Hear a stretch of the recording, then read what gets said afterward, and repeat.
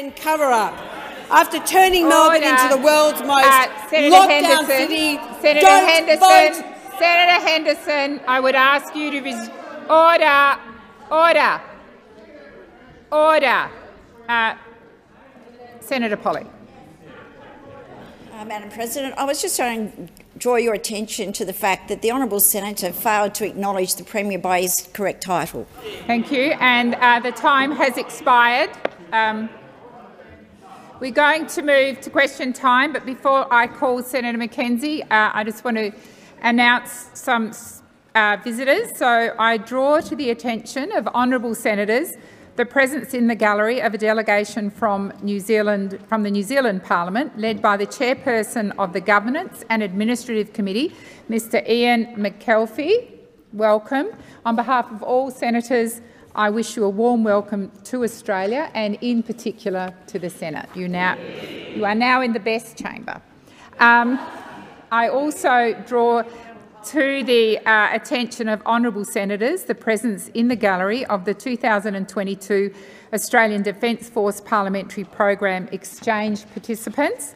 On behalf of all senators, I wish you a warm welcome to the Senate and thank you for the work that you've contributed to in your time here.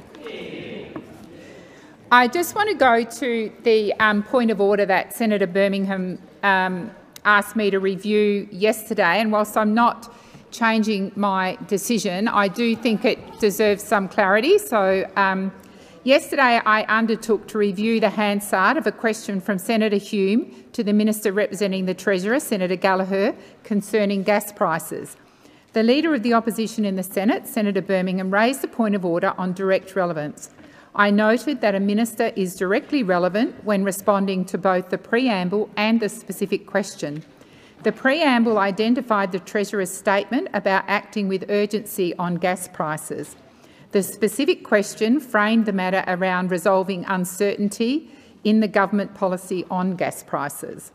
There was a political frame to the question, and I consider the minister was being directly relevant in exploring the causes and emergence of high gas prices and returning the political serve in relation to uncertainty in energy prices.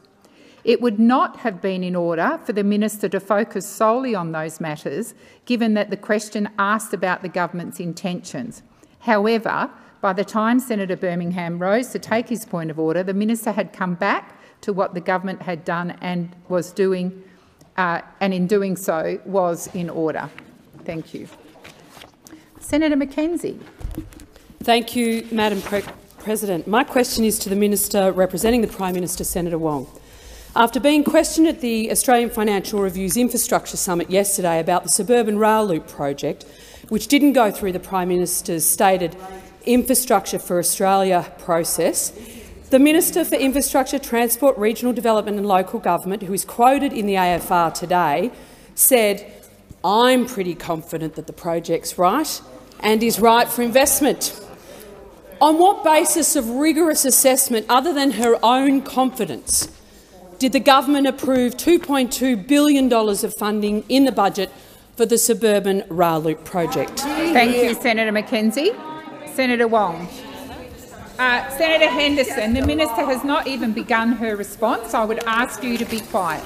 Minister thank Wong. you, thank you, uh, thank you, uh, President, and thank you to the senator for the question. And I do recall the extent to which all of us tried to campaign for state elections in this chamber, and I'm not sure any of us are actually very successful in it. But I'm happy to take the question. And if, if my colleague, Minister Watt, who actually represents the minister whose quote uh, you are using, uh, is able to assist, I'm sure he will. Uh, in relation to infrastructure projects, uh, we have said uh, that we will review infrastructure projects to better align investment with construction market capacity. We are consulting. Order. Consulting. uh, Look, you know, you are in a permanent state of outrage, aren't you? A permanent state of outrage. There's, there's never any light and shade with this particular senator. It's just permanently outraged. We're always right up there, aren't we? But I digress. I digress. As I said in response to the budget, as I said in response to the budget, Uh, the, uh, we are aligning Order. investment with construction market capacity. We are consulting with states and territories throughout this process. This is the responsible and honest thing to do.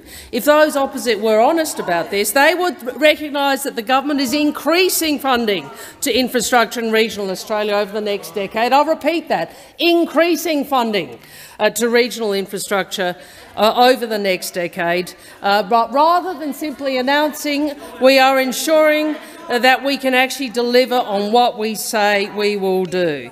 Uh, and in relation to the points that the senator raised in her question, I would, would say it is interesting to get a question which goes to business cases and probity from a yeah. minister who never demonstrated that, who never demonstrated that uh, in her period in government. And here we, um, uh, you might think that's outrageous, Order. but I think the public Order. record speaks for itself. Order. Well, well, which, uh, which part of that does which part of that does Senator McKenzie uh, want me to, to resolve from?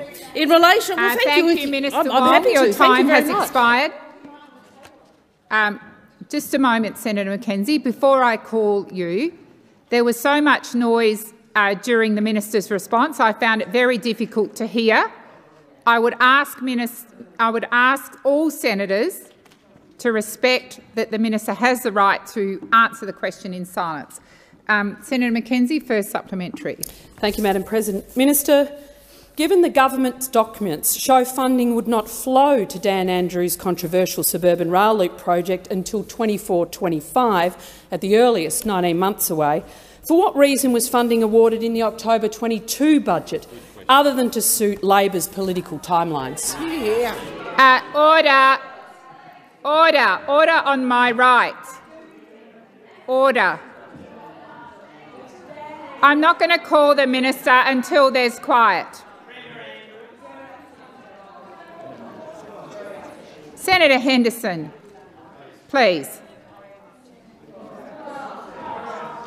It's, we are not at a football match. We are in Senate question time, and you are to be silent to hear the response and out of respect to the person answering the question. And before I call um, the minister response, I do remind Senator McKenzie to refer to um, people by their correct titles. So it would be Premier Andrews. Thank you, Minister Wong. Thank you, President. Uh, I'm asked. I'm asked. To... Really?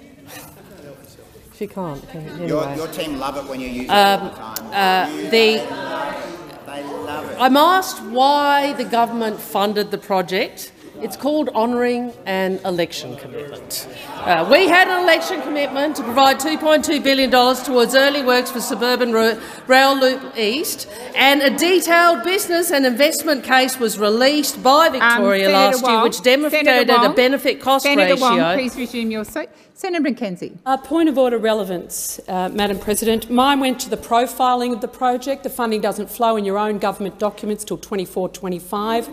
You could have run it through Infrastructure Australia uh, uh, processes, but Senator you announced McKenzie, it in this budget. Senator McKenzie, that question does go to why, and that's what the minister is responding to. She is being directly relevant. Please continue, Minister Wong. Thank you. Uh, well, I was actually asked um, why we were funding it, uh, and I was explaining to the senator why we were funding it. And I'd also make the point, and she may not wish to hear the facts about the detailed business and investment case, it demonstrated a benefit-cost ratio of up to 1.7. That is a $1.70 return for every dollar invested. It will still be assessed, subject to assessment by Infrastructure Australia, as is required. Thank you, Minister. Senator McKenzie, second supplementary. Thank you, Madam President, and thank you. It's nice to know it will be going through Infrastructure Australia. Minister King also to told the AFR Infrastructure Summit that if Infrastructure Australia's review of the project sees it not worth progressing, that she would personally talk to the Victorian Labor government about, and I quote her again, how they think they can make it stack up. Minister, at what point of the PM's reformation of Infrastructure Australia are we going to see ministers not intervening to make sure that projects unfit for funding are going to be persisted for until they stack up? Minister. Well, uh, I hadn't heard that quote before, uh, but if I well, order. Sorry, I've been doing a few other things. Um, um, I don't, I am sorry, I don't sit around reading the quotes of every every. No, it's not that. I'm just saying, you know, I don't have every quote of a minister who I don't represent. I'm sure Senator Watt would have an excellent answer on this question. I'm sure he read, he read every word. Uh, Minister Wong, please Oh, resume really? your seat. Minister Wong. Minister Wong, please resume your seat. Uh, Senator Uh, Madam President, as uh, Minister Wong is seeking to elicit a laughs from her side, the relevance of my question. that No, is not I'm sorry. a point of order. That is not a point of order. Resume your seat. Resume your seat. Uh, Senator Watt.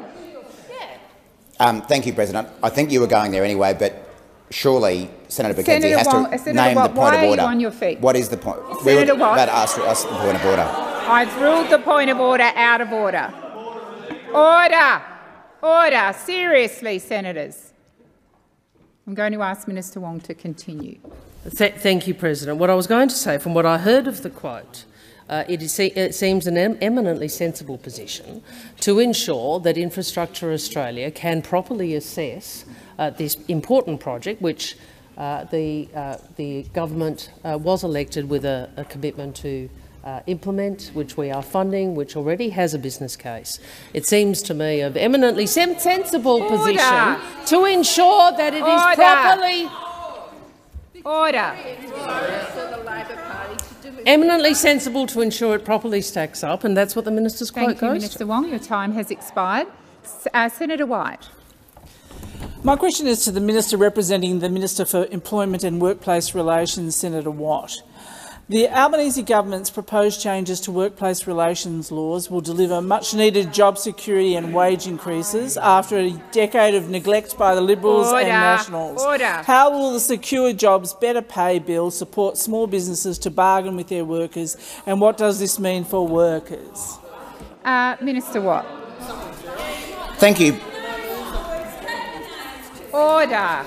Thank you, President, and thank you, Senator White, who I, again, uh, one of the people on our side of the chamber who has a long history of standing up for the rights of workers uh, and also having formed very cooperative relationships with business uh, in her career in the union movement. And Senator White is a great example of what our government is trying to do, which is build partnerships between unions, workers and business for the benefit of the economy and for the benefit of those businesses and also those workers.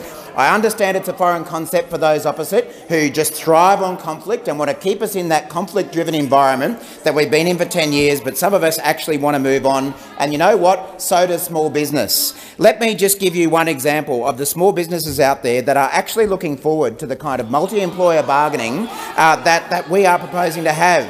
Now, Uh, Senator Watt. I'm going to wait for silence. Order.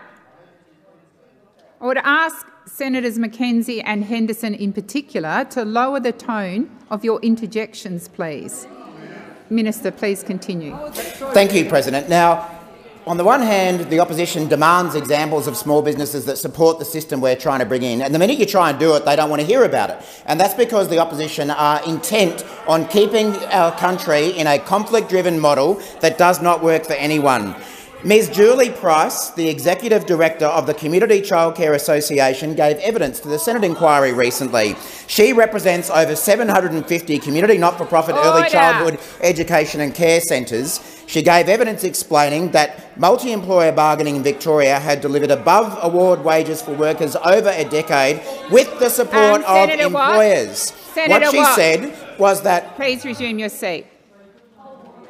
Order, senators, particularly those on my left. Please continue, Minister Watt. Thank you, thank you, President. Now, Ms Price, who represents hundreds of community-owned uh, childcare centres, made the point that the agreement they had struck across a range of enterprises covers just under 60 services in Victoria. It delivers better wages, 16 per cent above the award. Uh, and you know what? She goes on to say uh, that the centres are community-owned, they're managed by boards and volunteers, and they don't have the financial resources or the expertise in the IR to be able to negotiate an agreement themselves. This is the kind of system that small businesses can take advantage of to avoid having big HR departments and strike Thank agreements you, with their workers, Watt. which is Your what they want. Your time has expired. Senator White, first supplementary. Um, Minister, it's well known that small businesses are more award reliant. Why is it important to provide small businesses with additional support to create agreements with workers? Minister Watt. Thank you, President, and thank you, Senator White. As we say, we understand that it's a foreign concept for the opposition, that employers and workers can act together cooperatively for both their benefit, but our government actually understands that. Mr Mimo Scavera, the president of the HVAC Manufacturing and Installation Association, also gave evidence to the Senate inquiry. He represents nine major employers, collectively employing approximately 900 Um, people. Minister Watt, please resume your seat. Uh, no, Senator McKenzie, I'm waiting until your own side is quiet. Uh, Senator McKenzie. Thank you, Madam President. Uh, on relevance to the good senator's question, um, can the minister name one small business that Uh, actually Senator supports McKenzie, Labor's Senator McKenzie, that is not a point of order. Thank you. Um, Senator Wong. Well, President, I, the persistent point of orders which actually go to the content of substantive debate, we're very happy to have substantive debate. This is time for question time. This is real. Well, Order. This is, this is not the ways in which points of orders have traditionally been used, as, used nor should be used. If the, minister, if the senator wants a debate, we can have a debate. Thank you, Minister Wong. I ruled the point of order out of order. Um, Minister Watt, please continue. Thank you, President. And isn't it terrible to see the coalition not want to hear from employer groups? You really would have thought, you really would have thought that of all the parties, they don't, they would support employer groups, but not the ones that support multi-employer bargaining. The ones that oppose it are fine. The ones that support it are terrible. Mr. Scavera said it's not about Senator having Watt. a race to the bottom, to put it bluntly. Senator At Watt, the moment, please resume your seat. Again, noise, please. Please continue, Senator Watt. Thank you. Mr Scavera said it's not about having a race to the bottom, to put it bluntly. At the moment, the major construction projects don't have any regulation in relation to pay. So you have a mixture of people on a site that will either be enterprise agreement covered, award covered, or covered by whatever other means people are creating. Uh, we're hoping that through this mechanism we can have an industry agreement through multi-enterprises. That's what we're aiming Thank for you, to regulate the market. Minister the Watt. Your time has expired. Um, Senator White, second supplementary. Minister, why is it urgent that we pass these reforms before Christmas? Minister. Uh, Minister Watt, please resume your seat. Please resume. Please resume your seat. Once again, the interjections, particularly from my left, are absolutely disorderly, and I would ask you to be quiet so that we can all hear the minister's response. Minister Watt. Thank you, uh, President. It is urgent that we pass these reforms before, before Christmas because they will be good for workers and good for small businesses. They will be good for the economy.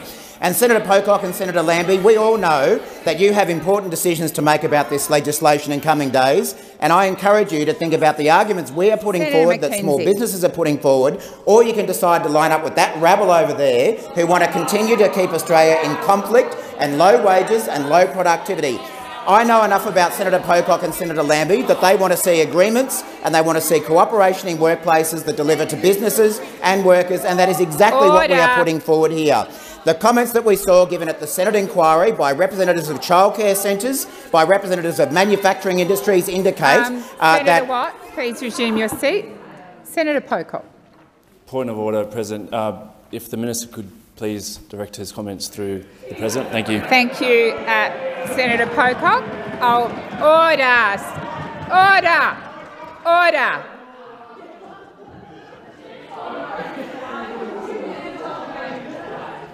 Order! Senators on my left. Minister Watt, if you would direct your uh, contributions to the chair. Thank you, President.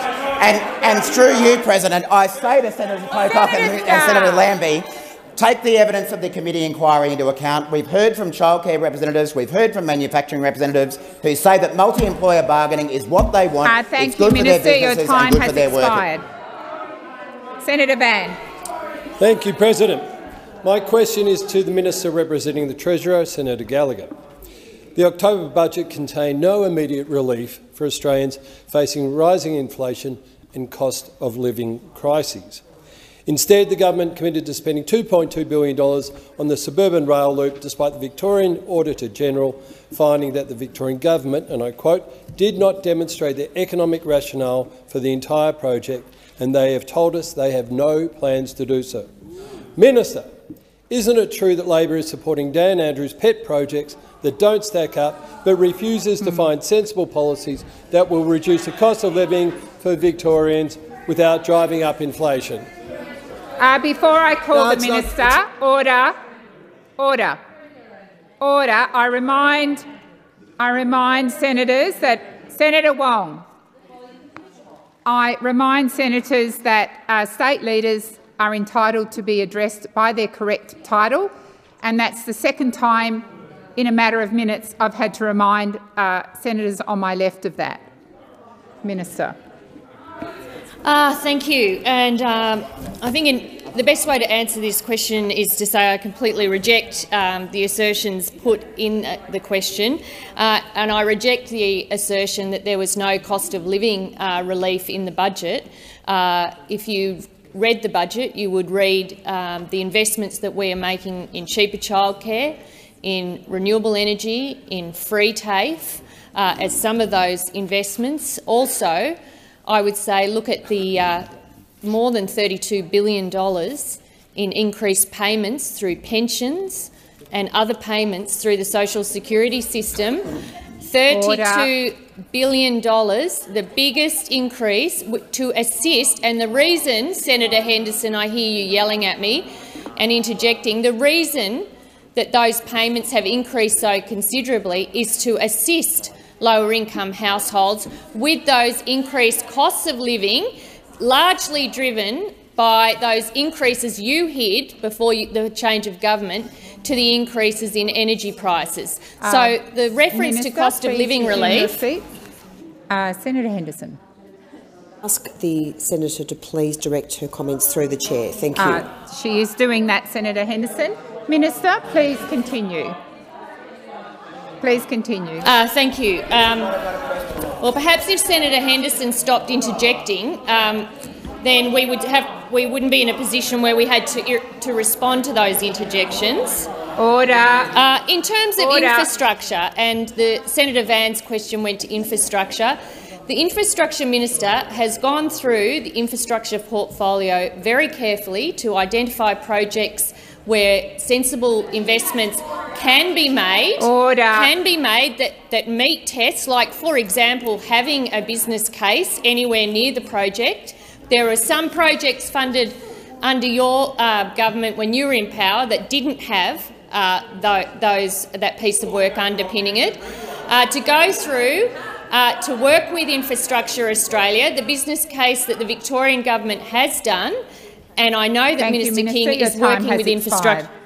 Senator Van, first supplementary. Thank you. The Victorian Auditor General said of the suburban rail loop, and I quote, the benefit cost ratio for the project is 0.51 when calculated in line with the DTF's guidance, below even the Victorian Parliamentary Budget Office rating of 0.6 Order. to 0.7. Minister, why is the government spending $2.2 billion on a project that demonstrably will not deliver value for money, but will continue to overheat in the construction sector, pushing up prices for Victorians, contributing to inflation and making the cost of living crisis worse for Victorians? Thank you, Senator Van. Um, Minister. Uh, thank you. Well, again, I reject um, the assertions put in the question to me. The suburban rail loop is a once-in-a-generation infrastructure project. We are honouring we are honouring our election commitment. We are doing what we said we would do. Uh, we are delivering upon that election commitment. And that Order. project will transform how Victorians move around the state and reshape the way Victoria grows. Um, and I would say, in terms of cost of living um, relief, the budget provided cost of living relief in a way that is affordable and responsible and doesn't add to inflation. And I think you'll see from all of the um, assessment of the budget, uh, find somebody who, um, and all of the economists and that that have assessed the budget, who said that the budget in itself does not add to inflation, and cost of living relief was provided where it was affordable and uh, sustainable. Thank you, Minister. Senator Van, second supplementary. The October budget confirmed that the Albanese government was cut, cutting hospital funding in Victoria by $1.4 billion. Why is the Labor government supporting Premier Andrews, boondoggle, while at the same time making Oh, sorry. Uh, Senator Premier Andrews' McKenzie, uh, health Senator Van, please resume your seat. Senator McKenzie, I'm going to ask you to withdraw that remark. Uh, Madam President, um, I do withdraw calling our Premier Uh, of I- Victoria. you do not repeat. Senate, no. Senator McKenzie, you know my rulings on these things, and I didn't think I would have to remind you not to repeat the offence. Simply withdraw the remark. I withdraw the remark. Thank you. Senator Van, please continue with your question and order on my right.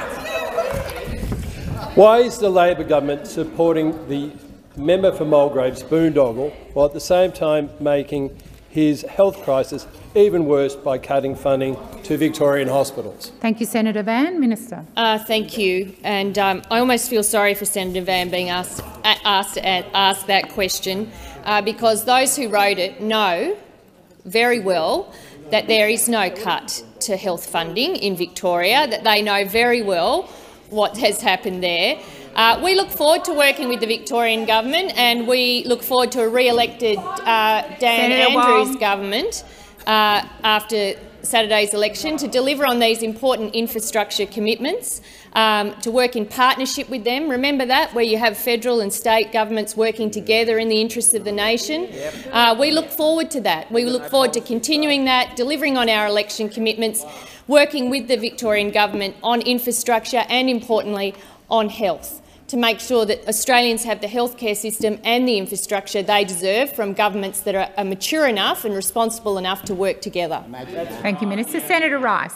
President, my question is to the Minister for Agriculture, Fisheries and Forestry, Murray Watt. Minister Watt. Right now in Victoria, the Andrews government is logging four MCGs worth of native forest every day. The Victorian government pledged to end native forest logging by 2030 and protect 9,000 hectares of old-growth forests. But a damning expose by the ABC last week found that the state-owned logging operator Vic Forests is continuing to log old-growth forests that were marked for protection. And this is on top of two court findings in the last month that found that Vic Forests were illegally logging forests that was home to two threatened species, greater gliders and tree geebungs. Minister, what is the federal government and you as minister doing to ensure that Victoria's native forests are actually being protected? Thank you, Senator Rice. Minister Watt. Thank you, uh, President. And thank Uh, you. Senator yeah, Watt. it sort of feels like it's Victorian Senator- election week Senator this Watt, week, doesn't it? please resume your seat. I would ask all senators, in particular Senator Scarr and Senator Thorpe, to be quiet while the minister uh, answers the question. Minister Watt. Uh, thank you, President. And yes, it, clearly it's Victorian election week, and clearly there's a couple of parties who are scrambling for votes rather than getting on with the job of governing, which is what we are doing, and what uh, what the Andrews government is doing in Victoria right now. Uh, now, I, I, I have met with Senator Rice about forestry issues, and I understand that these are things that you um, uh, care about very sincerely. And as I've explained to Senator Rice, uh, what our, the Albanese Labor government does support a sustainable forestry industry. We respect the fact that there are some states who have made decisions about phasing out native forestry, others have not. Uh, the reality is that our country is in a position at the moment with a massive timber shortage uh, and, and potentially other related shortages. And there are other, other parts of the country who, who have chosen uh, to continue with native forestry at the moment, including Tasmania, and that is something that we support. That is their right to do that. Uh, but, uh, but of course, Senator Rice is well aware um, that in, in states like Victoria, we have a regional forestry agreement process underway, uh, which, which, which, le- which leaves a lot of the management of those forestries to states. There's obviously been litigation about these matters recently, with courts having things to say about that, and I know the Victorian government is taking those decisions seriously. Um, but what the, what the Albanese government is doing is trying to strike a balance between the need for a forestry industry to provide the wood and timber and paper products that we need, while also McKenzie. making sure that we are protecting the environment. That's why we went to the election with a big commitment to expand the plantation estate uh, in, in Australia and, and plant Senator more trees through plantations to provide that timber. But the reality is uh, that in many, many parts of the country at the moment, the native forestry industry plays an important role in meeting that supply, and we support the people who work at that industry. So we think that that's a balanced approach, uh, and we think that that's the one that Australians want to see. Uh, Senator Rice, first supplementary. Minister, when it comes to protecting the critically endangered ecosystem of mountain ash forests, scientists tell us that 2030 is way too late. They will be pretty much logged out by then. At the recent climate conference, Australia joined the Forest and Climate Leaders Partnership to increase action towards last year's COP commitment to strengthen our efforts to conserve forests and accelerate their restoration. How are you going to bring Victoria into line so we can deliver on this international commitment? Will you amend the EPBC Act to ensure that Thank you, the case? Senator Rice. Your time has expired. Minister Watt. Thank you, President, and thank you, Senator Rice. As Senator Rice is well aware, the way the RFA system, the Regional Forest Agreement system, works is that it essentially displaces the BP EPBC in relation to forestry uh, endeavours and has its own system of managing the environmental needs uh, of those of those forests. Uh, we, and that is a system that we continue to support. Senator Rice is all, also aware that the Victorian government has made decisions about the future of its native forests. As I say, we respect the, their right to make those decisions, but we do support the ongoing uh, efforts in other parts of the country to, to pursue native forestry, including in Tasmania, uh, which is what they've chosen to do. Uh, we are trying, as I say, to strike a balanced approach which meets the forestry needs and the timber needs of our country, supports the workers in those regional communities, while also maintaining environmental protections. Uh, Senator Rice asked about the EP, EPBC. Again, she would be well aware that the EPBC and the Samuels Review is currently being considered by the government, and we'll have more to say about that before too long. Thank you, Senator Watt. Senator Rice, second supplementary. Thanks, Minister. A week after COP27 and amongst record-breaking climate-fuelled floods across the country, there's been, never been a more important time for climate action. A Victorian Forest Alliance report found that native forest logging in Victoria emits around 3 million tonnes of carbon per year, and that's the equivalent of 700,000 cars. What's the federal government doing to ensure native forests in Victoria are protected and that native forest logging isn't worsening our climate crisis? Thank you, Senator Rice. Minister. Um, well, again, if Senator Rice may have noticed that only last week at the COP conference, Australia joined 25 other nations in signing up to the Forest and Climate Leaders Partnership. Um, and again, that is another demonstration of our, uh, our determination to ensure that forestry is conducted uh, in an environmentally sustainable manner. That is the intent of the RFAs. That is the intent um, of the policies that we've pursued. Uh, if, if particular forestry operations don't do the right thing, then they, that they will suffer the consequences of that. And that's what we've seen as a result of some of that litigation at the moment. Uh, but we are not going to stray beyond our responsibilities in the forestry space. Um, these are joint exercises between the federal and the state government. And as I say, look at our election commitments, look at our budget, which delivered over $200 million towards forestry, in particular plantation timber, while also making sure that we're providing workers with training and increasing the efficiency of natives forestry. Thank you. Uh, thank you, Minister. Senator Pratt. My question is to the Minister for Finance and the Minister for Women, Senator Gallagher. Can the minister please inform the Senate how women will benefit from the reforms in the Secure Jobs and Better Pay Bill? Minister. Thank you very much. Thank you, Senator Pratt, and um, I thank you for the question and for your uh, interest, uh, long-standing interest in gender equality and achieving gender equality in this country. The Secure Job Better Pay Bill will deliver on uh, the Albanese government's commitment to a fairer workplace relations system, which provides Australians with job security, gender equality and sustainable wage growth.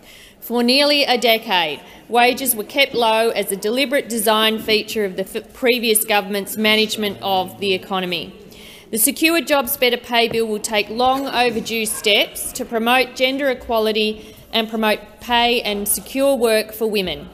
The bill puts gender equality at the heart of the Fair Work system by making gender equality and job security objects of the Fair Work Act. It will make it easier for working women in undervalued industries to win a pay equity claim before the Commission by removing the need to find a male comparator and by making clear that sex discrimination is not necessary to establish that work has been undervalued.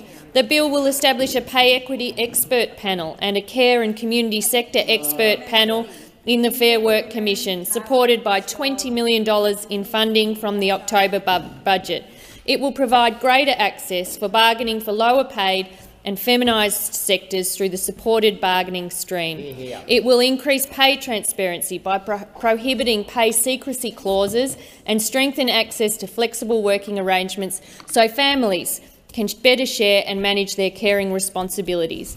And where the previous government refused to act, this bill will prohibit sexual harassment under the Fair Work Act, a recommendation of the Respect at Work report. Uh, President, women have waited far too long for their work to be properly valued, to get better access to flexible work and to feel safe and respected at Thank work. you, Minister. They The should time not for have to wait has any expired. longer. Senator Pratt's first Can supplementary. Can the minister outline how multi-employer bargaining will help close the gender pay gap? Minister.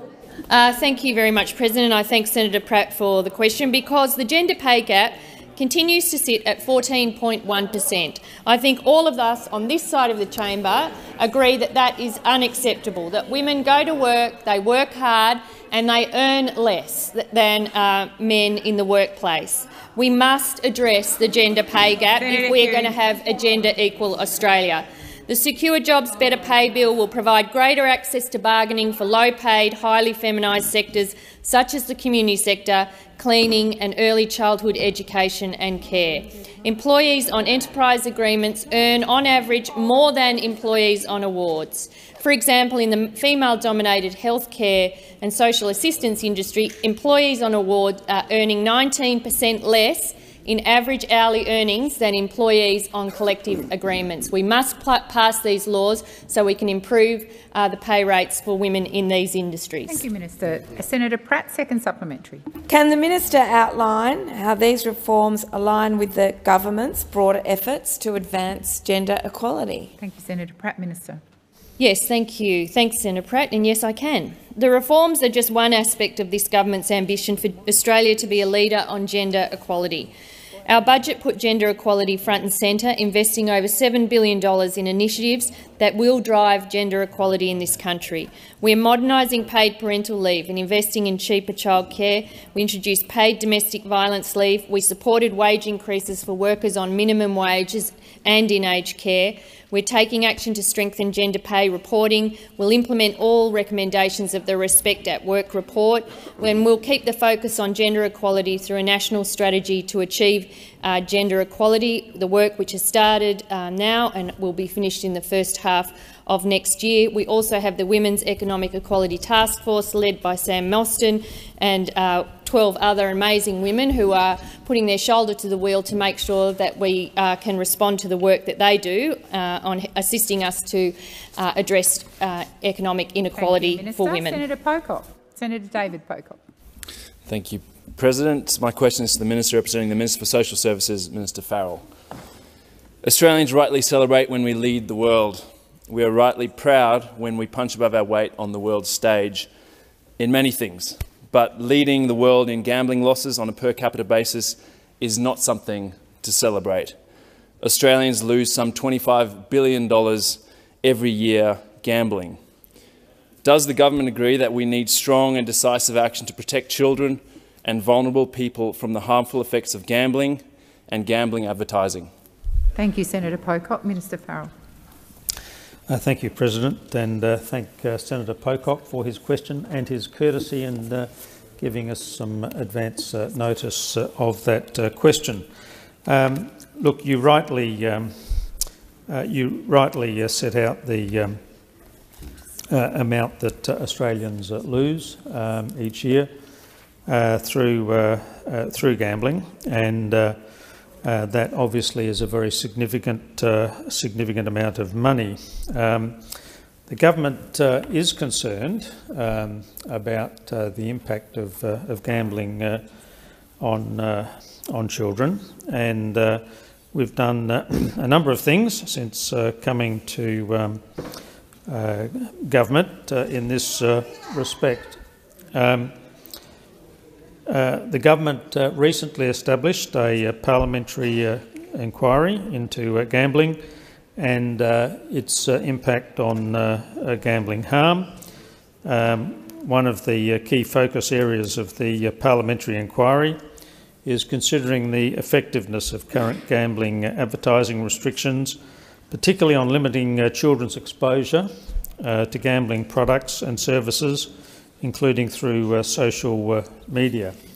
I am aware of uh, gambling-like games, for instance, the video games that include loot boxes and social gaming, and they're of concern to many, many com community members.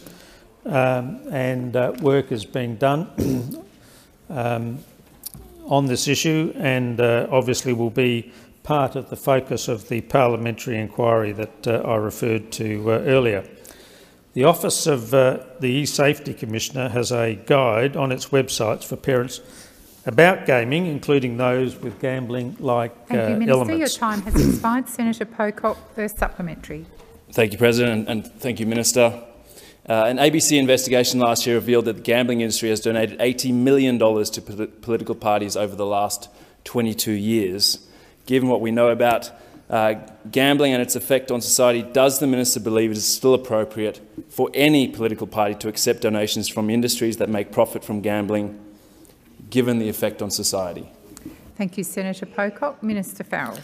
Uh, thank you, President. And again, thank uh, the uh, Senator uh, Pocock for his, uh, his question and uh, the uh, information that he has uh, provided to uh, the Senate. Um, look, um, the uh, Labor Party is very seriously interested in the reform of the, the electoral process. Um, and of course, we've sent a number of recommendations to the parliamentary committee that looks after um, uh, the issue of uh, electoral funding, funding the uh, Joint Standing Committee on Electoral uh, Matters.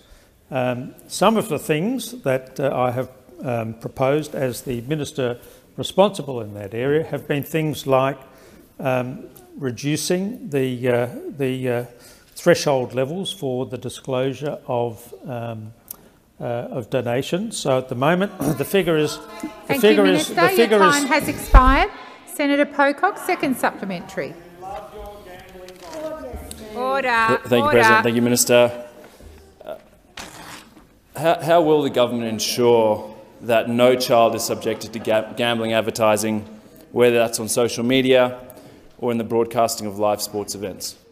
Thank you, Senator Pocock. Minister. But Walsh was gaming. Minister. Thank you, uh, President. Again, thank uh, uh, Senator Pocock for his uh, concern uh, in this uh, in this in this area. Um, I actually didn't sort of finish my previous answer, unfortunately, and I'll just say that um, one of the things that we're proposing to do is in that space is is real-time disclosure of of donations. Um, the issue that you raise about harm on children. Um, we have set up um, an inquiry, um, as I mentioned uh, in one of my earlier answers, uh, Senator Pocock, um, and I would hope that yourself and other members of the uh, Senate who have got an interest uh, in this area um, will take the opportunity of that inquiry um, to bring the sorts of issues that uh, you've uh, quite rightly raised here today. bring that to the the committee so that so that that committee uh, can Senator look at these issues Uh, and you, deal Minister. with them Your in a sensible fashion. Uh, Senator Thorpe, I would ask that you not uh, continue with those interjections. Senator Fawcett. Thank you, Madam President. My question is to the Minister for Finance, Senator Gallagher. Uh, Minister, yesterday in response to a question from Senator Cash, you said, and I quote, we are dealing with an inflation challenge at the moment and no one is pretending that wages should be growing at the pace of inflation, end quote. Can you confirm it's the government's position that you don't expect wages uh, to grow uh, at the pace of inflation? Thank you, Senator Fawcett. Minister. Uh, thank you. Well, well I, the point I was making yesterday, and I, I thank um, the senator for the question, was that we don't expect wages to grow at the rate of inflation as it currently is now. You'll see from the budget papers, I think it's in the 24-25 financial year, that we are expecting wages uh, to move ahead of inflation. Um, but what we, well, well, that is what the budget papers say. Um, but I was, I was responding to a question uh, about uh, wages moving. Well, what I was responding to was wages moving at the rate of inflation as, inf as inflation currently is. Uh, and I think you wouldn't find anybody, including on your side, that would be arguing for wage increases uh, in the order of 8 per cent. I wouldn't imagine, because that will cause other problems uh, that we are trying to avoid. Wages at the moment are not impacting on inflation. Inflation is being uh, largely contributed to, or the increase in inflation is down to energy costs caused by the, wage, uh, the war in Ukraine and by uh, some of those supply chain issues, shortages that we've seen coming out of the pandemic. Uh, so we are taking a responsible position in relation to wages. We want to get wages moving. That's why we have the Industrial Relations Bill before the parliament. We want to see an end of uh, the wage stagnation decade that was overseen by the former government. Uh, we've made no secret that we want to deal with wage inequality in low-paid, feminised industries. Uh, and the budget papers outline clearly the wage forecasts over the forward estimates, that they will remain below inflation for the first two years and then they will gradually uh, increase to a point where they just uh, increase above inflation Thank in that you, third year. Senator Fawcett, first supplementary. Thank you, uh, Minister. The Australian public are also dealing with the reality of the current situation, where they are seeing costs going up, and they will recall the promise made before the election this year, on the 11th of May, by the now Minister for Employment and Workplace Relations, who said, and I quote, Labor wants to make sure that wages keep pace with the cost of living, end quote. So can you confirm, Minister, that Labor has abandoned that promise to the Australian people made before Thank the election you, Senator Fawcett. to keep pace with the cost. Minister. Thank you. And I think you'll see from our budget papers, we do want uh, workers to get wage, uh, wage increases that help them deal with the cost of living. No, so that uh, the uh, senator is incorrect when he asserts that. There has been no change in position from this government. We are dealing with an inflation problem in this country right now, though, in case anyone over there hadn't noticed. If you haven't noticed, right, you've noticed, have you? Okay. Order. All right. Order. Well, just the reality here is that we are trying to deal with the inflation challenge and we are, in a sensible and responsible way, dealing with the after effects of a decade of wage stagnation. You are the party of wage stagnation. So the nerve of you to stand up and challenge us uh, on our Minister, position to get wages moving is a bit... Senator Henderson. Um, thank you, Madam President. Once and again, I would draw uh, the minister's attention to the fact that she needs to make her comments through the chair. Uh, I you. believe the minister is mostly making her comments to the chair. Uh, I would also ask those on my left to uh, stop calling out. Uh, thank you, Minister. Uh, thank you. Thank you. And in fact, in the last six months, since we uh, came into government, we have done a number of things, and I'm sure I'll get the opportunity to, to continue on this, including supporting increases to the minimum Thank wage you, that Minister. you never Your did. time has expired. Senator Fawcett, second supplementary. Thank you, President. I I again go to the Australian public's expectation there will be consistency before and after the election. On the 20th of May, the now Prime Minister said, and I quote, it's not bad luck, it's bad policy that wages aren't keeping up with the cost of living, end quote. Uh, Minister, will you now also label this situation your bad policy that wages are not keeping up with inflation rather than blaming circumstances? Thank you, Senator uh, Fawcett. Minister. That's right. Don't deal with the don't deal with the economic uh, reality right now. But I would say, in response to that question, vote for the industrial relations bill. Vote for it. That's the single biggest thing you could do right now to help us get Order. wages moving. Order. That's what you should do. You've overseen a decade of wage stagnation. You're now saying you want to see wages keep up with the cost of living. Well, support with us, walk with us. Stop being the party of work choices. Stop being the party that want to keep wages down. Remember that. Stop, stop wanting to make uh, childcare, aged care workers, those on minimum wage, not get a decent pay rise. Stop arguing about things. When in government, you had that section about uh, the importance of low-paid work, a whole section in your submission to the Fair Work Commission. Yeah. That's your record. We're yeah. trying to get wages moving. We proudly stand next to working people to argue for that and join with us and support the legislation. Thank you, Minister. Your time has expired. Senator Lambie. Thank you, Madam President. My question is for the Minister representing the Minister for Employment and Workplace Relations, Minister Watt. Minister, the government Secure Jobs Better Pay Bill abolishes the Australian Building and Construction Commission. What problems are solved by specifically abolishing the ABCC that aren't actually caused by the code it is meant to enforce, which your government has already acted on? Thank you, Senator Lambie. Minister. Uh, thank you, President, and thank you, Senator Lambie. Uh, Senator Lambie would be well aware that for a number of years uh, leading into the last election, it was Labor's clear policy to abolish the ABCC. And that was because uh, it had completely failed workers in the building industry and firms in the building industry as well. Um, Senator Lambie, or through, through the President, Senator Lambie, uh, if you haven't already received, seen these statistics, I'm happy to show you the figures that show that the entire time the ABCC was in existence, productivity on building sites actually fell. It went backwards. So for all the claims that were made that it was going to be the solution to productivity and drive the industry forward, the facts actually show that the industry went backwards in productivity. Uh, and that's let alone um, the gross waste of taxpayers' money that we saw under the ABCC pursuing trivial matters through the courts. And we just, we just went through it again at estimates Order. recently. We just went through it again at estimates recently about the legal expenditure. Uh, Senator Watt, please resume your seat. Order.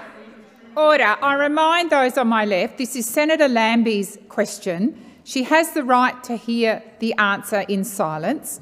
As you're well aware, everyone in this chamber is aware, the crossbenchers do not get the same opportunity as the major parties to ask questions, and I would ask those to be courteous and allow Senator Lambie to hear the answer in silence. Minister, please continue. Uh, uh, President.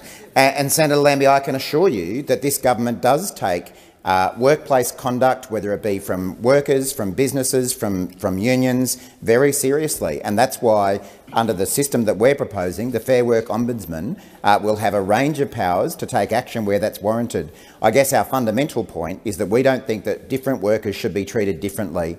We should have one regulator of conduct on work sites, uh, and that is the Fair Work Ombudsman. We don't need uh, an additional body for one industry that pursues workers and pursues unions and leaves employers alone when we all know uh, that in the building industry there are rogue employers as well. The ABCC never did anything about that. It did very little to recover underpayments to workers, a very serious issue, uh, and we think the Fair Work Ombudsman is the appropriate place to, to do that work. Thank you, Minister. Senator Lambie, first supplementary. Thank you, Madam President. I understand that the Labor Party and the union movement doesn't like the fact that the ABCC has busy, busied itself policing flags and stickers. I agree. Regulators shouldn't be distracted by small beer infringements like that. But you can fix that with a tighter building code.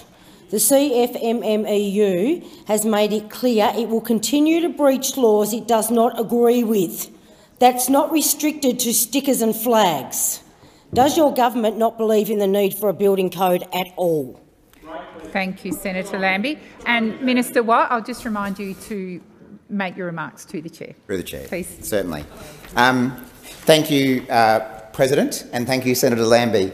Uh, President, the, the building code, again, uh, was another example of this government having a very one-sided, uh, the former government having a very one-sided attitude uh, towards conduct on building sites. Uh, the building code was a, a, was a part of the arsenal of the ABCC, which was used to crack down on unions and workers and do nothing about the abuse of workers and unions on construction sites. What we're in favour of is a balanced approach from a regulator that applies across all industries so that whether you're a hospitality worker or a childcare worker or a, or a truckie, Senator Sterle, or a construction worker, I know, I know truckies always behave. Um, I remember that from my days representing the TWU. Um, the, um, but whatever, whatever industry it is, people deserve to be treated equally. Uh, and the building, uh, the building code was another part of that arsenal and that's why we've repealed it. Thank you, Senator Watt. Senator Lambie, second supplementary. Madam President, the Secure Jobs Better Pay Bill transfers some of the power from the ABCC to the Fair Work Ombudsman, but doesn't transfer all of its budget. It's being asked to do more without the money to do it. Something's got to give here. What safeguards will you put in place so the Fair Work Ombudsman doesn't have to choose between its core business like policing wage theft and policing the industry? Thank you, Senator Lambie. Minister Watt.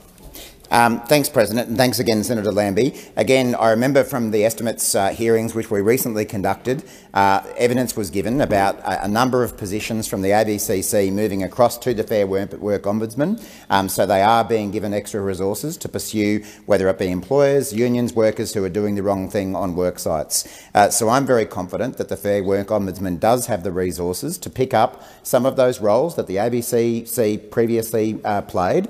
Um, what we're about is making sure um, that important things that are actually reasonable in a workplace setting get pursued by the Fair Work Ombudsman, and all the nonsense and politicisation that the ABCC was given taxpayers funding for, that is what is going to end. And I think that's what, us, that's what people voted for. We could not have been clearer in the lead up to the election that we were going to abolish the ABCC. Uh, we feel that we've got a mandate to implement that reform now, along with all the other reforms that we've, we're planning to implement. Um, and I'm out of time. Thank you, Minister Watt. Senator Green. Thank you, President. My question is to the Minister for Foreign Affairs, Senator Wong. Can the Minister update the Senate on developments in the human rights situation in Iran overnight and the response by Iranians themselves? Minister. Thank you um, to Senator Green. I thank her for uh, her interest in this matter and for her, her solidarity with the women and men of Iran who have been standing against uh, the repressive and violent actions of the regime. And I acknowledge uh, that that is uh, a position shared by, uh, I hope, all uh, in this chamber, but certainly many across the chamber have been also raising their voices. I know that people would have been following events in Iran closely. Uh, and I think all of us would have been moved by the image overnight of the Iranian football team standing silent during the Iranian regime's anthem. And this was a courageous act. A courageous act. By refusing to, and by refusing to sing the anthem, they're actually joining a chorus. Joining a chorus in Iran and around the world that has grown steadily louder over the last two months. And while the Iranian soccer team staged their protests, protests within Iran continued, especially in majority Kurdish areas. And so did the regime's brutal response. That response included attacking protesters using machine guns mounted on vehicles and even using drones, missiles, and the death toll now runs well into the hundreds. We all know that this started on September 16th with the death of Mahsa Amini, whose Kurdish name was Jina. Uh, her unexplained death in the custody of the so-called morality police was a spark that lit a flame of protest that has spread across Iran and to the streets of cities around the world, including Australia. Protest activity has make, ma taken many forms, street demonstrations, women and girls removing their hijabs with others also cutting off their hair. In solidarity with protesters, Iranian shopkeepers, factory workers and employees in the oil and petrochemical sectors have participated in strikes and we saw Iranian archer Parmida Ghasemi remove her hijab in a sign of solidarity during an award ceremony in Senator Green's first supplementary. Uh, thank you, President. Minister, how has the government responded to these developments overnight? Thank you, Senator Green. Minister. Thank you. With with new reports of violence and retaliation against those expressing their right to protest, this morning the Australian Government again called in Iran's charge d'affaires, and I welcome the opposition's meeting with the charge a few weeks ago. It is important that Australia speaks with one voice in conveying the abhorrence of these events and as Iranian authorities have brutally cracked down on protesters, this country has joined in the international condemnation. We have made a number of international in interventions, including supporting the convening of a special session of the Human Rights Council on the situation in Iran, which will take place this week. We provided early co-sponsorship of a resolution uh, calling for a fact-finding mission, and we will advocate intensively to build support for it. Just as the Iranian representative was left in no doubt, the Senate should be clear of this government's resolve to continue working with others to build pressure on the regime to cease its brutal campaign against its own thank citizens. You, um, Senator Green, second supplementary. Uh, thank you, Minister. what can the government say to Australians who are concerned about reports of harassment and foreign interference by the Iranian regime? Minister. Uh, uh, I certainly am, and I have no doubt that all senators would be deeply concerned with the reports of Australians here in Australia being harassed for their participation in protests and the reported threats made against their families in Iran. You see, of course, the right to peaceful protest is at the heart of Australia's democracy. The, our concerns were relayed in no uncertain terms to the Iranian Chargé d'Affaires this morning, and the Department of Home Affairs Counter Foreign Interference Coordination Centre is working with the community to conduct targeted engagement on foreign interference. My message to anyone involved in such activities is this. Australia's laws on foreign uh, interference are unequivocal. Allegations of foreign interference are investigated and we will prosecute if appropriate. We will defend our democracy and people's right to protest and express their views within Australia just as we stand up for the rights of those to do so you, elsewhere. Wong. Your time is six five. Uh, Senator Duniam. Uh, thank you, President. My question is to the Minister representing the Minister for the Environment, Senator Wong. And I refer to reports in the Australian today revealing that Ms Plibersek's decision on the 4th of November to review 18 previous ministerial approvals of coal and gas projects may cost 174,000 Australians their jobs and cause the loss of $100 billion worth of investment in our country. Has the government modelling has, has the government done any modelling on the economic and social impacts of these decisions and if so, what does the modelling actually say? Thank you, Senator Duniam. Minister Wong. Uh, thank you for the, uh, for the question, uh, Senator Duniam. I, I, infer from the question, uh, and I don't have the detailed information before me, I may have at any point in this answer, and, um, uh, that this is a review on, in the context of Ms Plibersek's statutory role. Uh, as such, I wouldn't be responding to uh, assertions by others about what might or might occur, not, might not occur in the context of that review, and obviously the government wouldn't be in a position of modelling hypotheticals.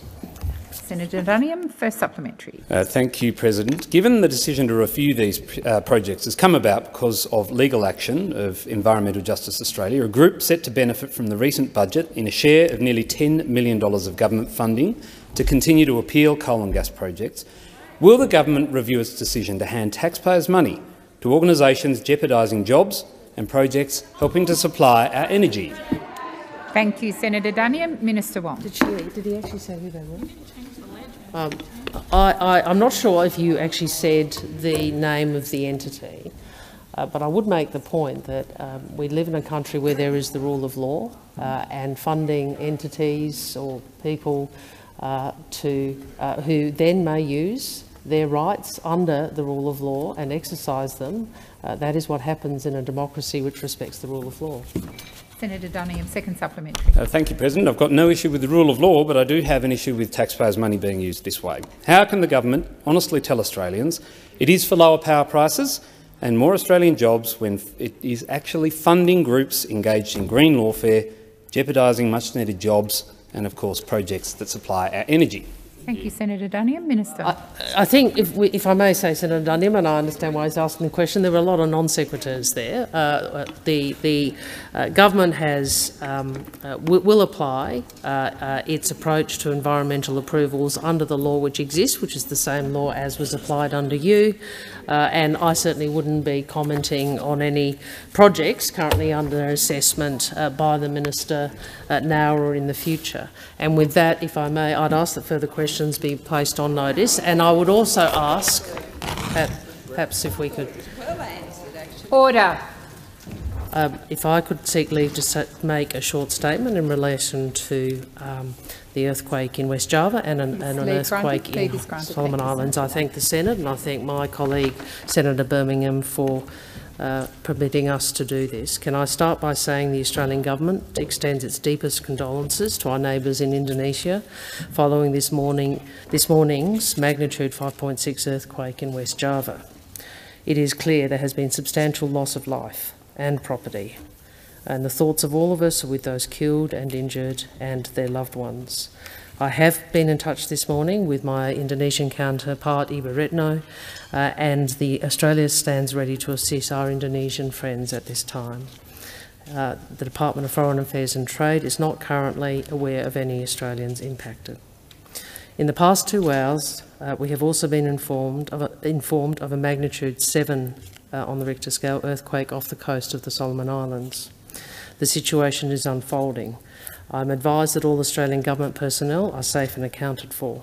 DFAT is seeking to confirm the safety of other Australians in the Solomons and their families. There has been some minor damage to an annex building of Australia's High Commission. Staff were also moved to, higher, to higher ground in response to the tsunami warning that was issued. I'm informed that the warning has now passed and that the High Commission remains operational, and I thank all those at the post for their work.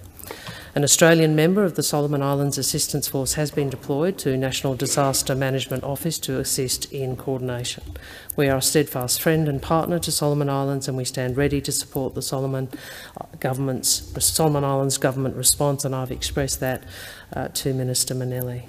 Can I say that anyone with concerns for any Australians uh, in either West Java or Solomon Islands can contact the Consular Emergency Centre on 1300 555 135 in Australia or plus 61 2 6261 3305 outside Australia. Senator Birmingham. President, I seek leave to make a short statement. Leave is granted. Senator Birmingham. I thank the Senate. Uh, President, uh, human tragedies and natural disasters remind us all that we live amongst a community of nations that is underpinned ultimately by a common sense of humanity. Uh, within our region, uh, the nations who we count as friends and partners are ones who we stand with during such times of difficulty.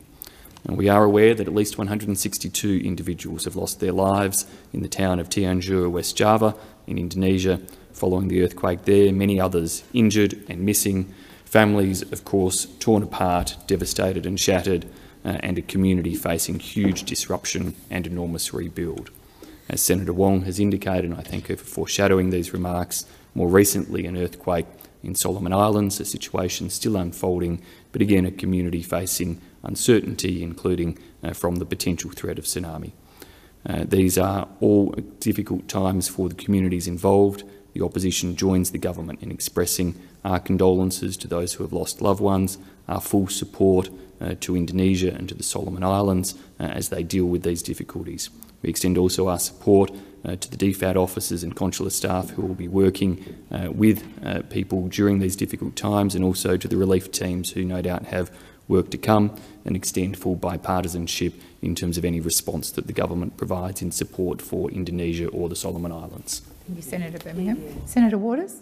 Thank you. I seek leave to make a very short statement. Uh, leave is granted. Senator Waters. Thanks very much, President. I would like to join on, be, on, behalf of the Australian Greens and extend our sympathies to those in West Java and uh, let the folk of uh, the Solomons know we are thinking of them. Uh, as, as in difficult times like this, Australia rises to the challenge and I hope that our government um, will see some Australians out there to help very soon. And again, we are thinking of those in our region suffering right now.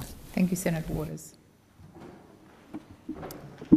Uh, just a moment. Senator Colbeck, I'll just uh, get the deputy to come forward.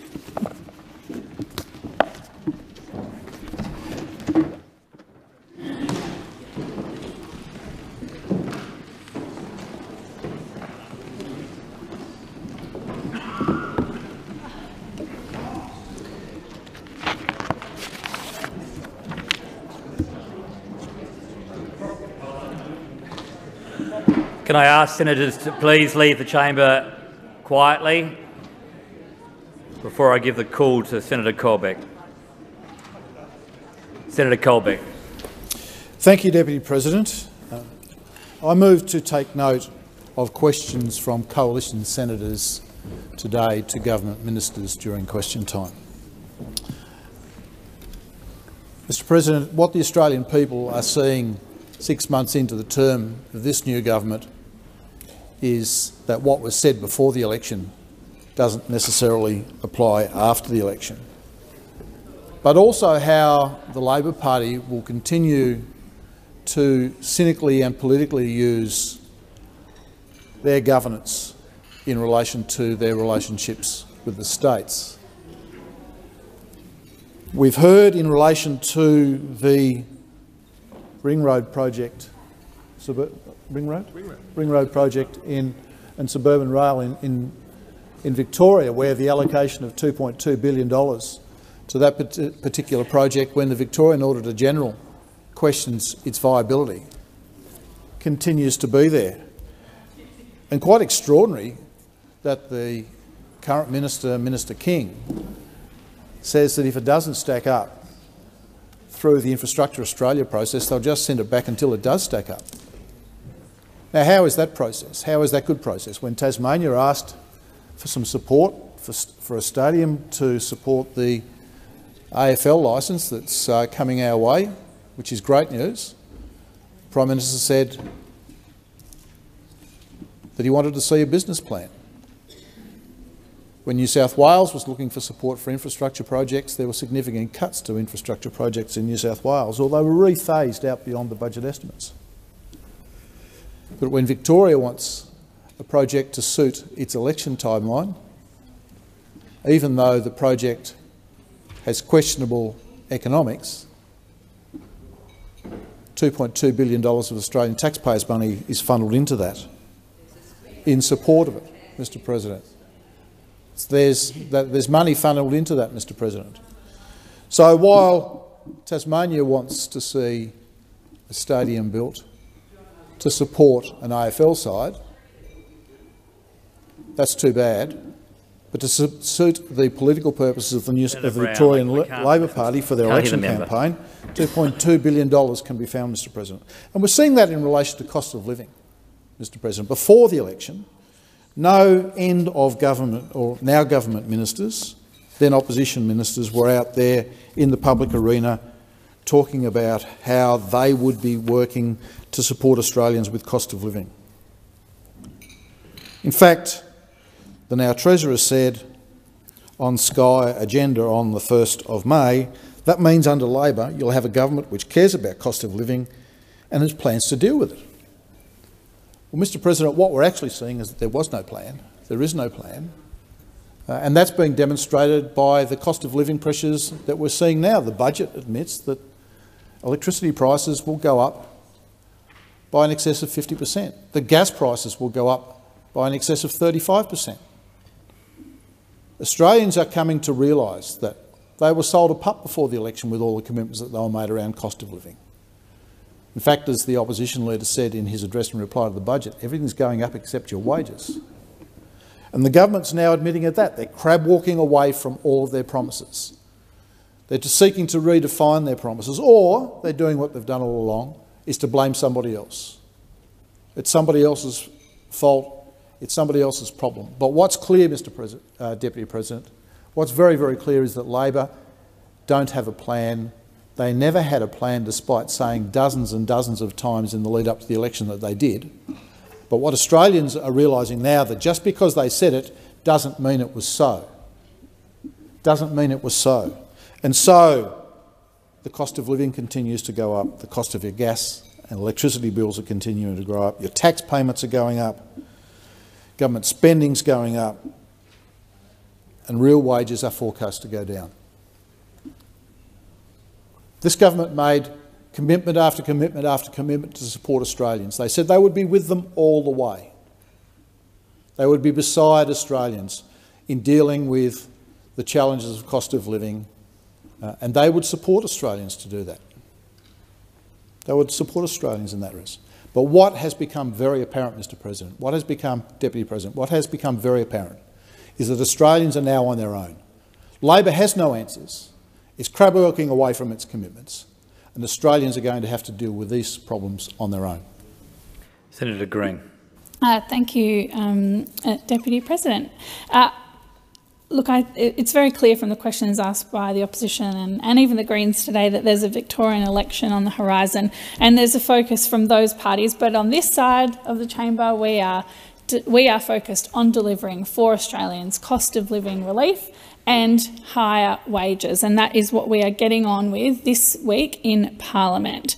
Uh, look, we certainly have a desire to work with state governments, and we know from the answers given from our ministers today that we are really keen to make sure that no matter which state we're talking about, we are working with states to deliver infrastructure projects. Foreign concept to those over there who made a sport out of um, picking sides with state governments and, and fighting state governments in the last term, uh, but we are interested in working together to deliver jobs and to deliver infrastructure. Now, it's pretty rich for those opposite to come in here and talk about infrastructure funding and decision making because we know that they are the party of the colour coded spreadsheets. Whether it's car park rorts, safety rorts, building rorts, sports rorts. There wasn't a fund that the former government didn't try to rort and use taxpayers' money as Liberal Party money. So we're not going to sit here and cop from the other side uh, debate about funding and decisions on infrastructure funding. We are delivering our election commitments and we are going to be funding infrastructure and delivering integrity to infrastructure funding, funding projects that deliver value for money and deliver jobs for Australians. In Queensland alone, can I tell the Senate, we are delivering $18.5 billion in infrastructure funding.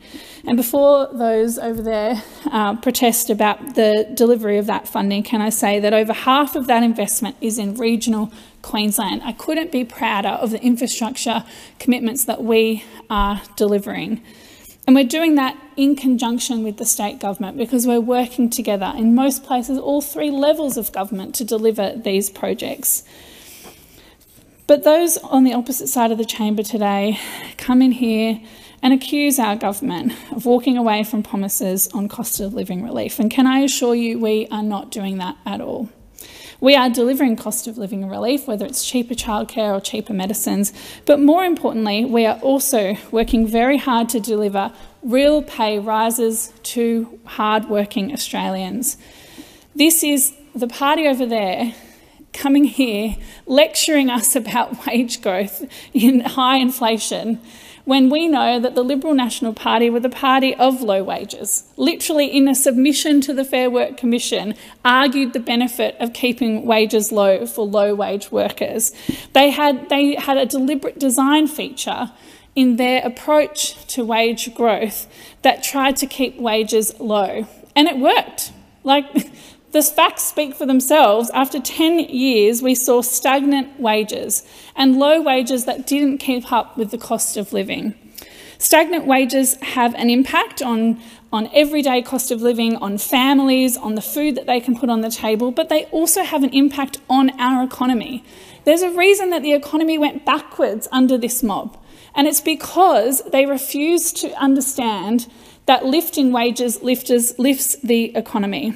We've got a broken bargaining system, and uh, it is clear from every side of this debate, whether it's workers, whether it's unions, whether it is businesses, and it's really hard for those over there to hear those, those quotes from small and large businesses who acknowledge that the bargaining system is broken and it needs to be fixed. So, can I assure those opposite who have raised concerns in their questions today and hopefully will raise them in their taking note speeches that if you are concerned about the wages of Australia's lowest paid workers and making sure that people can keep up with the cost of living, there's a very simple thing that you can do this week in Parliament or next. You can come in here and you can vote for our secure jobs and better pay bill because it is a bill that will deliver a fairer system, better wages, and a better bargaining system. If you want to do that, you can join us in, in, supporting workers, in supporting childcare workers, aged care workers, workers throughout the economy who you stood there and thanked during the pandemic for all the hard work that they did. Now you've got a chance to thank them to make sure that they have a pay rise that delivers on cost of living. Thank you, you can Senator do that next week in the Senate. Senator Cadell. Thank you, Acting. Um, sorry, Deputy President. Um, questions we heard today in the chamber and the answers around the funding of the $2.2 billion suburban rail loop.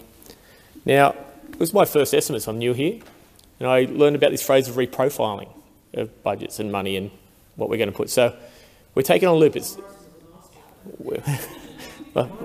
my first lesson. So what we're looking at is that money in the budget we have to take on faith. It's not printed, it's not written, it's there. It's like a Bitcoin transaction. It is on faith, and it can disappear just as quickly. It can leave thousands of people without their jobs, thousands of people without their money, and this is what we're finding. But we do find this 2.2 billion in the budget for 24-25, and we see 1.4 billion coming from health. Now I go to the 2.2 billion, and in the question we said the Victorian Auditor General found that the Victorian Government did not demonstrate the economic rationale for the entire project, and they have told us they have no plans to do so. Now let's not think that 2.2 billion builds a suburban rail loop. It's up to $130 billion to build a suburban rail loop. What is that 2.2 billion for? Is that the down payment on a loan fee for Belton Road? Is that what it is? Is what does this do in 24-25? We saw that on the Newcastle-Sydney high, higher speed rail promise of the government, where they put 500 million towards establishing a planning committee and buying property, but no rails will be laid, no sleepers will be laid, no trains will be bought. Again, it is just money for nothing. People won't get from Newcastle to Sydney faster, people won't get around Melbourne faster, but we've put that money there to hang the hope out and the profiling will take care of the rest. When we talk about prices raising and cost of living, we always hear about the Ukraine situation and the price of gas. We hear the price of fuel, we hear the price of coal. But the majority of Australian coal-fired power plants have fixed-term contracts on their coal at about $100 a tonne. They haven't raised. A coal truck doesn't go via the mine, via Ukraine, via the Donbass, back to Australia to a coal-fired power station to produce it. Our gas doesn't get shipped overseas via the Caucasus back to Australia. And no wind turbine, no solar panel runs its wiring through the Ukraine back to Australia. They have put price pressure, but that's not to cover all the cost of living.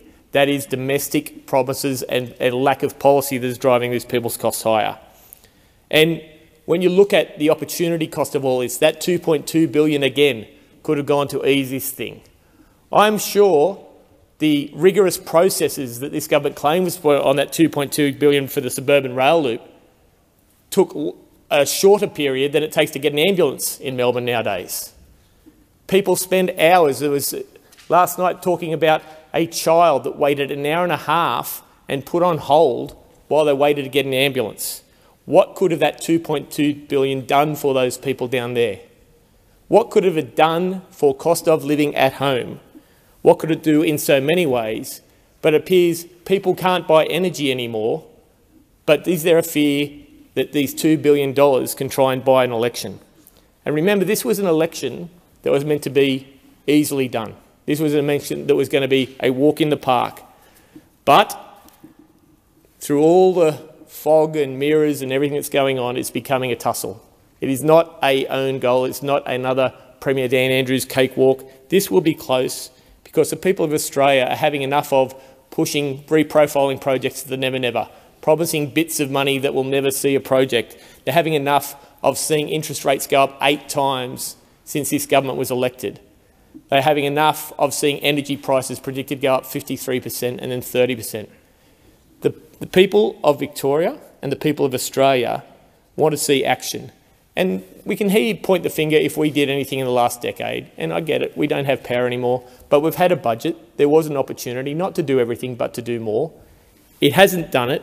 All it has done is come up with things that were promised, not researched properly, not going to help the people in the, the, the areas they need right now, and we need to do better. There needs to be another thing that comes in shortly to help people with the cost of living, we need to relook at this suburban rail loop and give people the things they need, like money on health, money on living, and we, that's what we should be focusing on. Thank you. Senator Croghan. Thank you. Um, it was interesting to sit here and listen to Senator Fawcett blaming the Labor government for the stagnated wages and the challenges we have in cost of living pressures in Australia at the moment. Seriously? You spend nine years in government presiding over these things with an absolutely dedicated policy of suppressing wages that have been really clear about that, and you want to blame us, you want to blame the Labor government after six months for those pressures. That is just absolutely ridiculous. So let's just be really clear. In six months, in six short months, we have moved to, to work on cheaper childcare. We have a bill in front of us. We've increased renewable energy and we have a plan for our electricity system into the future that is going to make a difference, that is going to improve how we can utilise renewable energy in this country. We have introduced the, the free TAFE places to address the skills shortages that we have been stuck with for years now and that are only getting worse. We have looked, we are bringing in extra university places to also address those same skills shortages. And as we heard earlier uh, from Senator Gallagher, there's been 32 billion in increased payments, including into the um, age pension. All of these things to address the cost of living pressures and the employment pressures that we have, the skills gap, etc. And we have also increased the minimum wage. Well, we didn't, but we supported it, and we have encouraged that to occur. And now we have, and we are on the verge of the Secure Jobs Better Pay Bill that will make a difference if those in this room, this chamber, would pass it. Support us getting behind having wages moving, moving so that people are not struggling under the stagnated, wage, stagnated wages that we have seen from the opposition while they were in government for very nine very, very long years. So we are taking action and we are going to make a difference. The problems we're facing um, with the Secure Jobs Better Pay Bill are ones of ideology in the main. Now, I am uh, am honoured enough to sit on the Employment Education Standing Committee, which is looking at this bill.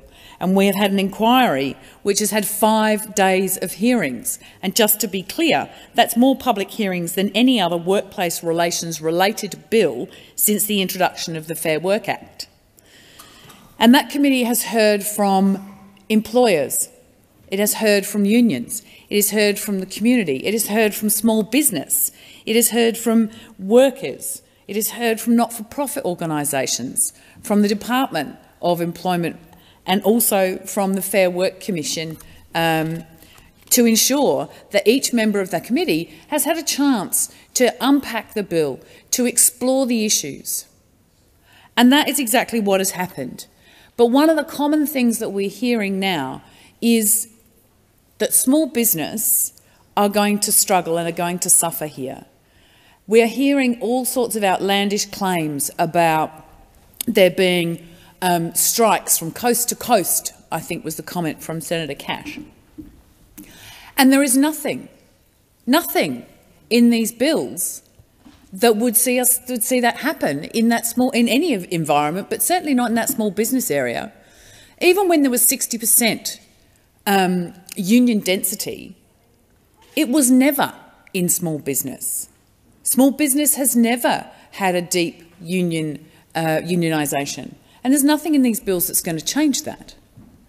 And when we go to the other end of the scale, where we have the big end of town coming and talking to us, particularly some of those areas where they're never going to see any impacts from this. Their businesses are in a situation where they have their wages settled, they've been bargaining, everything's going nicely. This bill isn't going to change that.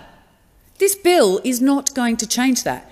This bill is going to get wages moving. It is going to address some significant cost of living pressures that we are facing in this country.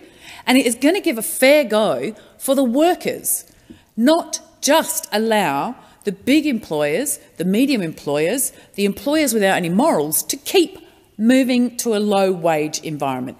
This is about everybody having a go, from the businesses Thank to the employers. Senator, Senator O'Sullivan.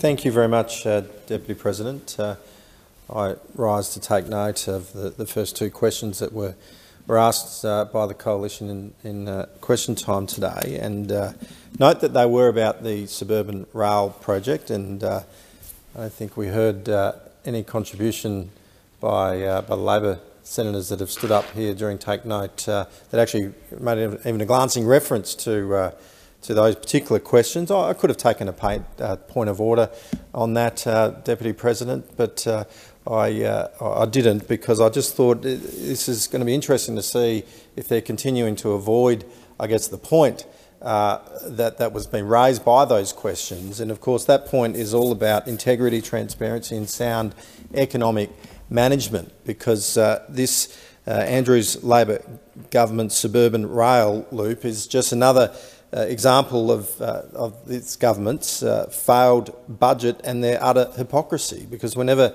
Labor's in political trouble, they always go to look to rail to haul them out of, uh, the, of, of, a fix. And so they're at it again. The suburban rail loop's estimated spend of $125 million, the, the price tag of just two legs of the project, and it won't even be completed by 2050. Yet the Prime Minister had to step in and help out his old mate there, uh, the Victorian Premier. The federal government committed uh, to a $2.2 billion spend at their October budget, almost a, a quarter of their infrastructure spend. Now, this is pork barrelling at its absolute finest. As usual, Labor are putting their priorities over Australians' priorities. Never mind the cost of living crisis, the energy crisis, the, the out of control inflation that we're experiencing right now in this country. Labor is happy to scrap uh, excellent programs such as the Building Better Region Fund, but of course that is only so that they can afford to commit to a project that hasn't even had its business case approved by Infrastructure Australia. Uh, as reported by the Australian Financial Review, I quote, Victoria's Auditor General has criticised the Andrews government's 400-page business case, which it declined to submit to Infrastructure Australia for failing to demonstrate that the economic costs and benefits of the project justify the investment.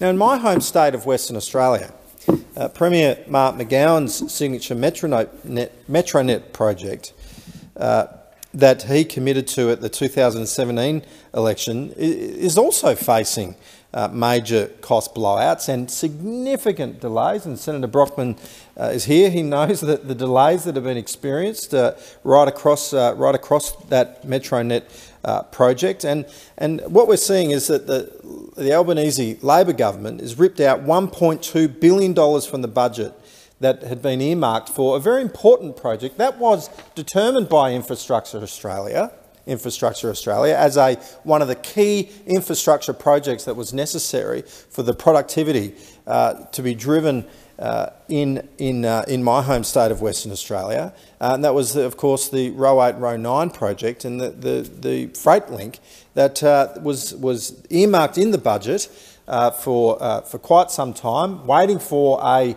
government in Western Australia to commit to it but they have failed, uh, failed to do that, sadly. And in fact, they've ripped it out of the budget and it's no longer there available for a government that would choose in Western Australia to build that important project. And they've just instead got these ridiculous projects up and down Leach Highway that uh, are not actually resolving the, the, congestion and the traffic issues and, and importantly taking uh, heavy freight off those routes uh, through suburban areas, through suburban streets, uh, the, the, whereas Roe 8 and 9 would have uh, created a thoroughfare for large trucks, for large heavy freight uh, to be able to get in and out. And so we're seeing in, in, in Victoria, obviously the election's coming this Saturday and and there the, the Victorian people have a, a big decision to make this Saturday.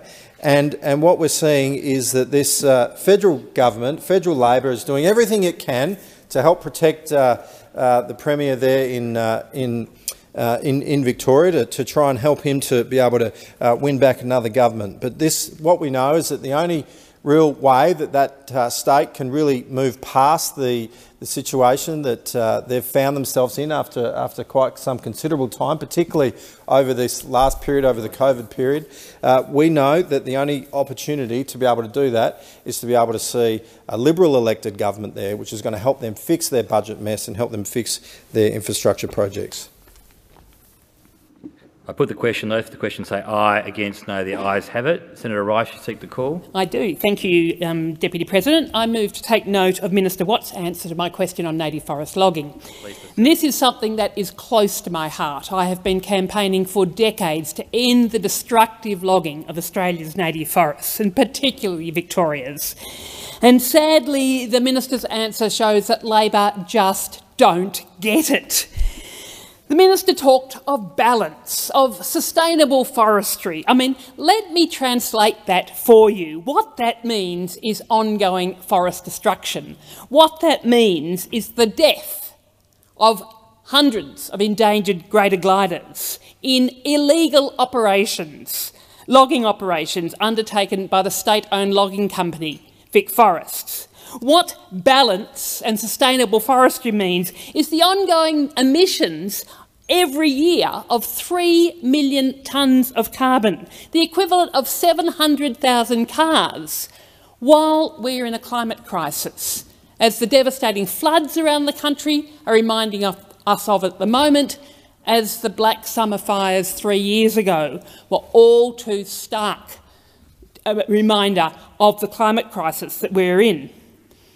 In a few days from now, voters in Victoria have a choice. They have a choice between very different approaches to our native forests. The Labor Party has failed comprehensively at both state and federal levels to protect Victoria's precious native forests. They make vague promises about ending native forest logging, but the time frame is so far away that vast swathes of forests and the animals that rely upon them are going to be gone by the time that 2030 time comes around, at the rate of four MCGs worth of forests every day. They say that the forests are being managed jointly, but the Labor federal government is doing nothing about the Labor, Vic Forest illegal logging, refusing to pull the Victorian Labor government into line. Minister Watt made no commitments to get rid of the logging laws our regional forest agreements that allow this logging to continue. He made no commitment to make changes to our environment laws, the EPBC Act, to better protect our forests. The Vic Labor government and the Vic federal government are working in cahoots to allow the ongoing devastation of our native forests and the wildlife that depend upon them. The Greens have got a different vision we have a clear policy of ending native forest logging. We want to see a just transition, one that provides clean, green jobs that are sustainable for both workers and the environment. We want to see people working in protecting our forests, in ecological restoration, in revegetation, tackling weeds and pest animals, on disaster management and relief, people employed growing trees in plantations and on farm forestry, so that 100% of the wood being produced in this country and in Victoria is, comes from those sources. We want to see people employed in growing hemp as an alternative source of fibre. We can be growing and supporting our regional communities, not leaving them abandoned in a dying industry. And I want to thank, in particular, the activists and the campaigners who have fought so hard over so many years to be protecting our native forests. The protesters, the citizen science, the organisations and the people who are taking legal action we have seen three separate court cases in the last uh, in recent months that have found VicForests and its logging have broken the laws that are meant to be protecting our forests and the animals that live in them. The courage and the commitment of these campaigners has made a huge difference. A huge difference to our forests, a huge difference to our future, a huge difference to our climate. And I want to thank them. And the voters of Victoria should be listening to this as well, because the Labor Party, when it comes to forests, is a party of too little, too late. and Victorians would do very well to remember that on Saturday. I put the question. Uh, does any other member have a contribution. We have 30 seconds left. I put the question. Those the question say aye. Against no. The ayes have it.